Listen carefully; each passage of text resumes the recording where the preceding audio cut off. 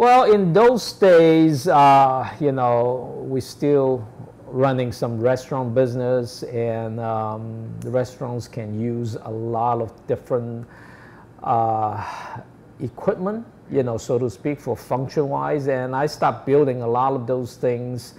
And uh, it happens in those days that um, we were packing the takeouts on a round aluminum tray that has a plastic lids that go over it that you need to finger close those, uh, those aluminum lips.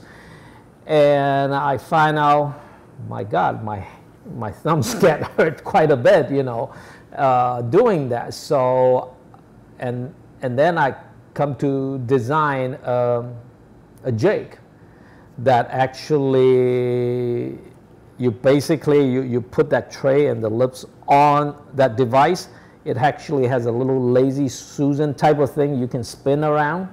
So what I did is that I have a, a, a closer, you know, so which means if I will push that closing things and it will just close half of the the tray for me you know one push and then it closed half. And then I spin around on the lazy susan you know 180 degree and then another push.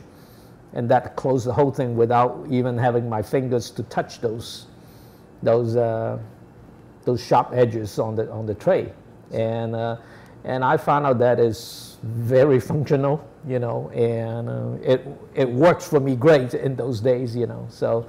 But I haven't even still up to now I haven't seen one of those things that is being offered that you can just close it with that apparatus instead of using uh, your fingers or you know things like that.